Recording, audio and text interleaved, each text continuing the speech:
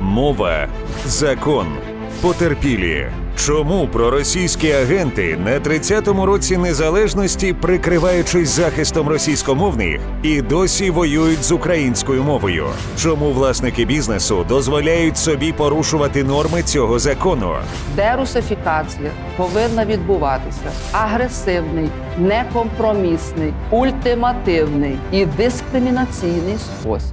До них інакше не доходять. Крах Росії.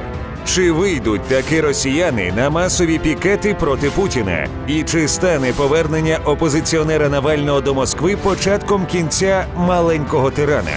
Та інавгурація Байдена. Як позначиться на Україні американський політичний вибір? Усе найважливіше у четвер, 21 січня о 19.15 у ток-шоу говорить Великий Львів. Майданчик, де отримають слово і будуть почуті абсолютно всі. В ефірі телеканалів НТА та Еспресо, а також у соцмережах проекту. Львів мовчати не буде.